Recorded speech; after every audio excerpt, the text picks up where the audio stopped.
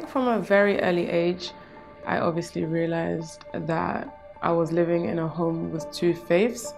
Um, so my mom's side of the family are Christians, and my dad's side, my dad's side of the family are Muslims.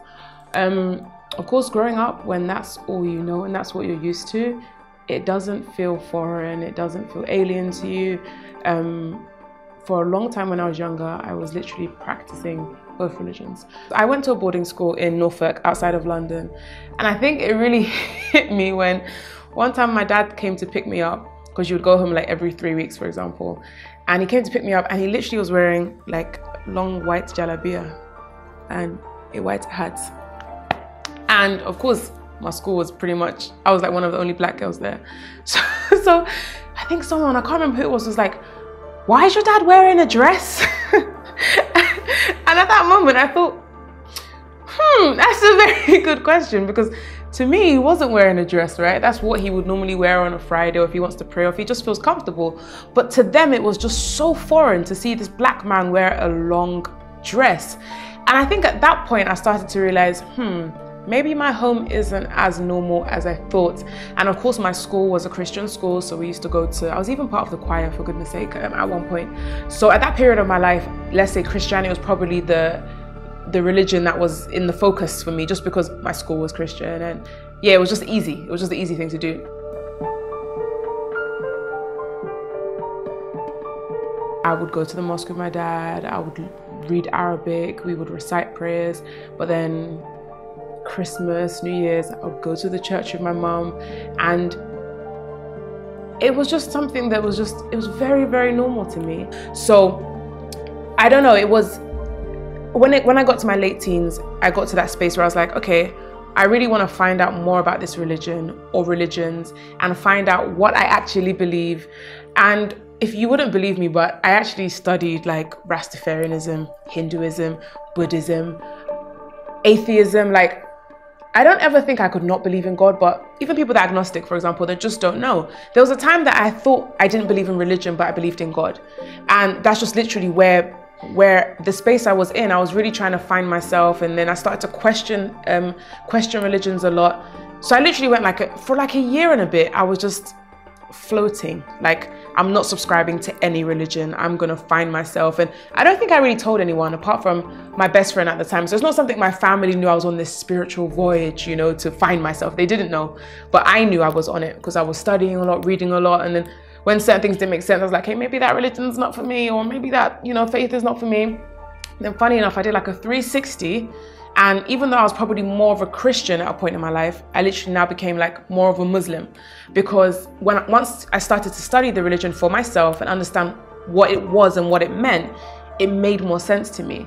Now, I'm not at all an ambassador for the faith. I'm not at all saying I'm a perfect Muslim. It couldn't probably be further from the truth. What I am saying is that that was the religion that for me I believed in. Um, and you can only go by what you believe and what you feel and what you feel God is telling you. And so at that point, I made up my mind and I was like, this is it.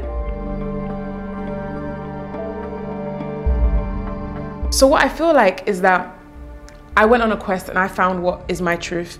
And some people that have never been on a quest, for example, they're just living what they've been given. Now, by all means, I'm, you can be in a home where both of your parents have the same faith and that can be that can be your truth. But what you have to understand as well some people are born into those environments and they never question or try and find themselves. So they're just doing things out of habit not that they feel it. They go to church every sunday or pray five times a day because that's what they've been taught to do. Not that they've gone to explore and see or, or you understand or take it a bit further. So when people like that turn around and question you that you've been on a journey, you that you've seen, you understand, you that are very open to, to the world and things, it's quite annoying. People are so used to the idea of them thinking I am what I am. So when they feel like, oh my God, I just I assumed you were a Christian. So when they realize I'm not, they just feel like, oh, but you need to come to my church. So I always say, no problem, I'll come to your church if you come to my mosque. Then you'll just get, oh no, I can't go to the mosque. Why? Why not? I mean, what happens there that I don't get it, that, that you don't, I don't understand. Because trust me, up to today, I go to people's churches if you're doing a Thanksgiving, if you're doing a birthday, if you need some emotional support. I'm that friend. I will be at your church because I'm comfortable and confident in my faith and what I believe. That I don't feel like if I go to a church, it's going to change my mind. So when I invite people to, okay, yeah, come to the mosque, my family are doing a function, or, you know, you'll realize that no one turns up. Like, apart from, for example, my Yoruba people that kind of like understand the dynamics, that they understand, okay, they're used to it. People are kind of scared of things that they don't know. And what I want people to properly understand is that just because it's not normal to you doesn't mean it's not normal to somebody else.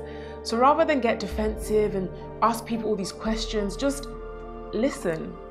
Just listen to people and understand their vibe and, and don't ever feel like you're in a position where you know more than someone based on a choice you've made in life. So you're a Christian and I'm, I'm glad. Like I said, half of my family are Christians and I love them dearly and I understand Christianity. I studied it. I've went, been to all kinds of churches. But for you to then say, why are you a Muslim? When I don't ask you, why are you a Christian? I find a bit offensive. Now I know people don't mean to be offensive, so I do not I don't take it personal at all. I just feel like people need to understand and respect people's choices and people's space. And if you have a question, there's a manner in which you will do it, which will be welcome, welcomed, and someone will be happy to tell you, oh, this was my journey, and I'll sit down and tell you all these things and all the things I learned. But when you come at me like I owe you something, you're gonna get a very blunt answer, and I'm probably gonna say, why are you a Christian? And then you're gonna get offended, and it's just unnecessary. Have there been challenges? Yes. Are there still challenges? Yes. And if I'm honest, the challenges don't come from my immediate environment. I mean, like I said, I'm not anything new in like my tribe, let's say. You're used to hearing or knowing Muslim families or Muslim girls that necessarily don't wear hijab or, you know, not necessarily stereotypically look like a Muslim woman, whatever that means. Um, but then to the outside world, you will you find that you have to well I don't obviously, but you find that people feel like you should have to explain your choice to them. I struggled with that. Because I'm so open to religion, I find when people come to me though, they're so closed. So they're coming to me to preach, but they're not open. So I'm telling you, oh, cool, that sounds good. But I'm telling you like my side of my story or you know, oh yeah, it's similar, or I believe this as well, or I actually believe in Jesus. Like I'll tell you, I believe in Jesus. And they'll be like, oh no, but I'm like, no, that means you haven't really come here to understand or listen to what I'm saying because some of the things you're saying is, oh, accept Jesus Christ. And I will tell you, I've already accepted him. And they'll say, oh no, you couldn't if you're a Muslim. I'm like, See, that's where you're getting the conversation wrong. You probably don't even know that Jesus is in the Quran, for example. You probably don't even know that. So, how can you possibly come and preach to someone when you haven't even found out what the person's about. Like, and the reason why I know this is so key is because I will never forget, like, my dad, he literally had a Jehovah Witness that used to come to our house every week. And they used to sit down in the kitchen and have conversations for hours. I mean, every week. And my dad's a Muslim. And he would let this man into his house and they would sit down and they would talk about God and religion. A Jehovah Witness. That was my upbringing.